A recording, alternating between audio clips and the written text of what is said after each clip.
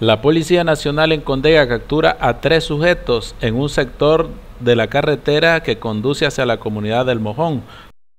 A estas personas se les ocupó dos pistolas calibre 38, supuestamente las estaban negociando. A estas personas se les detiene por tenencia de arma ilegal.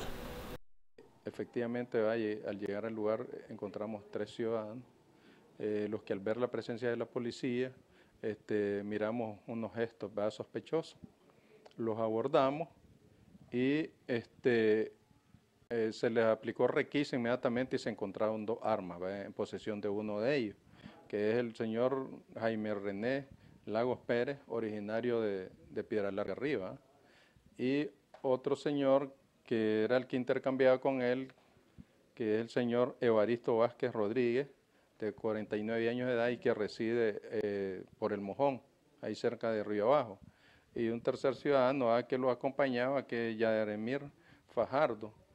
Eh, una vez este, requisado Y, desarmado, uno de, de, cuchillo, de navaja y el otro del arma, este, procedimos a trasladarlo a la unidad. Una de las armas, una revólver calibre 38 de eh, marca Tauro tenía este, portación. De otra 38 que se me daba vieja y deteriorada, andaba sin documento. Se informó inmediatamente a la policía de Estelí, a la jefatura y ordenaron que se llevara porque había un interés, que inteligencia andaba trabajando algo, pues no, no precisa más, solo eso, fueron trasladados y eh, inteligencia o, auxilio judicial de Estelí se hace cargo del, seguimiento del proceso. Eh, andaba un arma ahí que, acaba de comprar, pues. ¿Qué? Porque, ¿Cómo la compraste? Me la vendieron y la llevé barata y entonces por eso la compré. Pero está ilegal esa arma. Sí, sí ilegal. Sí, ando dos armas, una sí ilegal. ¿Y qué estaban haciendo a la hora que la policía lo sorprende? Únicamente que ya él iba, iba a vender gasolina, le iba a conseguir un poquito de gasolina al otro muchacho. Y, entonces allí los hallaron la, patrulla y los ¿Cuántas armas andaba vos? Sí, andaba dos. ¿Dos? Sí, son ellas las dos. Yo una la venía comprando. ¿Y la otra? Pero las dos no tienen papeles. ¿Cómo no? Sí tienen. Mm. Está él que le digan que la otra ahí tiene papel. Eso me llamó que le que gasolina, pues, lo que le llevaba yo y entonces yo llevaba gasolina al muchacho, ustedes me dieron parqueado con ellos los dos. ¿Tú los conoces a ellos? A uno fue que lo, conocí, pues, el muchacho este, como digo, ¿A dónde te detienen ahora?